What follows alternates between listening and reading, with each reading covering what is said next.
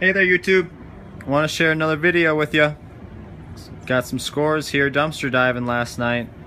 I wasn't planning on loading up videos this frequently. I was gonna do like maybe once a week or something and but uh, Friday, Saturday, Sunday, and Monday I, I, scored all three nights in a row so uh, they're worth a video. I'm gonna share this is just Monday night stopping at the same places as normal T T-Mobile, Verizon, GameStop, uh, you know, phone stores and stuff like that. Uh, so, anyways, let me show you some of the stuff I got. Now, uh, first of all, I went to T-Mobile uh, last the past two nights, and I got a bunch of stuff, and I have a, a video of that.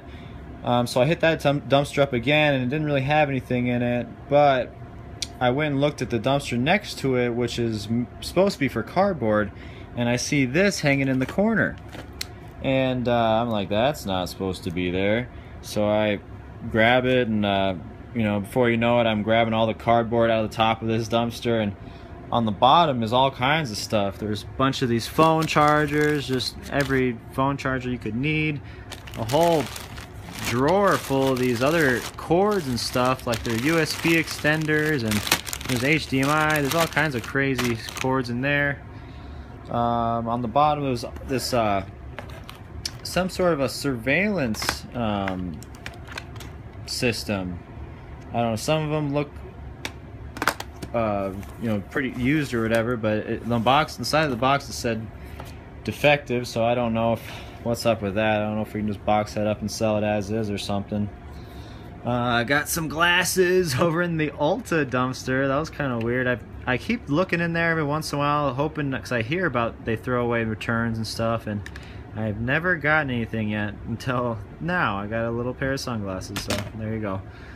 Um, at that T-Mobile, I think it was T-Mobile, I got a bunch of these Fitbits. I, these might be just the cases, though. I know this one is just the case, but some of these might have something in them. I don't know. I, I don't really know much about these. That one looks like it's got something in it, so I don't know. It might just be the wristbands. Uh, anyways, going on we got two suction cups still in the package. I don't know what's up with that. We got a, a keyboard. I got the mouse the other night in the other dumpster. The keyboard was in the bottom of that cardboard dumpster. GameStop had a bunch of a good pile of games in it. Um, these GameCube games, they are they're old, they're worn a little bit, but uh, I bet they probably still work, you know. So add those to the collection at least. Got some more phone cases.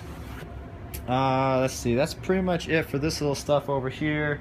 There's also some other knickknacks and office supplies, but one other kind of crazy thing I got was a canopy from Verizon Wireless, and I, I had it set up before. I had to uh, mess with it a little bit and fix it up a little bit. It was kind of haggard. It was you know used and not put away properly. It was just thrown out, you know, and uh, but it's it's bigger than fits in my backyard. It's a giant one. It's not just like a little 10 footer. So that's kind of cool. I got a canopy now in case I, now I'm gonna get get set for this garage sale. I started making some signs.